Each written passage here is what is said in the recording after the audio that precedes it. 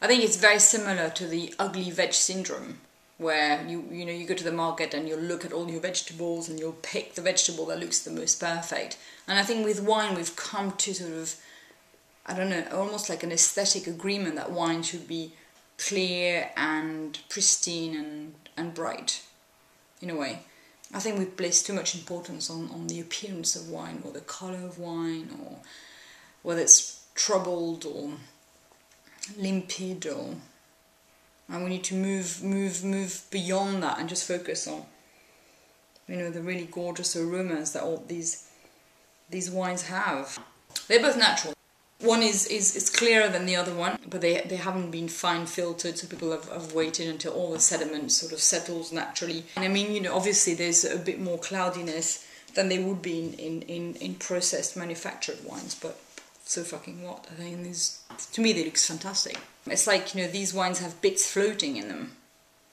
So what? You know, it's like it's nutritious, it's full of goodness. Um, this has not been filtered, it's not been fined. There might be a bit of sediment. It really doesn't mean anything. You know, they haven't been tampered with, they're very raw. They're really delicious, they're very alive. You know, the problem is that we've removed aliveness out of wine and we've now focusing on monotonous flavors and it's a bit like, I don't know, playing music out of one note. That's a bit like what modern, modern wine tastes like at the moment. Whereas these are funky, they've got all sorts of stories to tell. They're very individual, you can pick them out.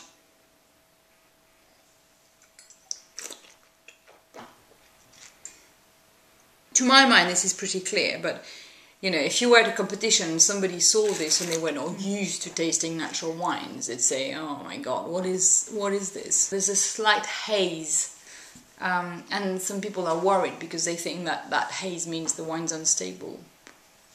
This has been open for 10 days, just like that, left on the side of my table. And now it's just becoming really, really um, smoky. Can't quite remember what it is. Mm. Mm. It's a vibrant, mineral, zingy, full of weight, smokiness. That's very good. And this is the same as it's been open um, for over a week now. They're almost like untouched. They're little treasures are waiting to be discovered. But in a way, it's a bit like, you know, if you buy a loaf of bread, which is just like pure, plain, boring white flour and all soft, and you, you know, it kind of stays squidgy and soft for like days, uh, versus you sort of I don't know, kind of more, you know, the sourdough, the sort of more real stuff. It's crusty, it's got personality.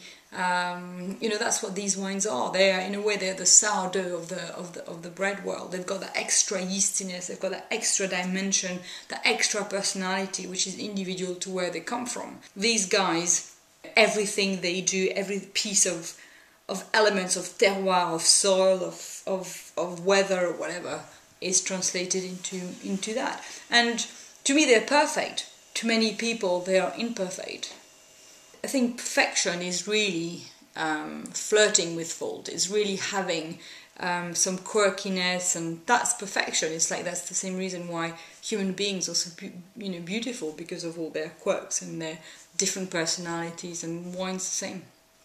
You never get bored with these wines because they never taste the same. So remarkable and, and so perfect in their imperfection. This is really exciting stuff. Cloudy not cloudy. Frankly, who gives a damn? They're both delicious wines. Stop worrying about appearances.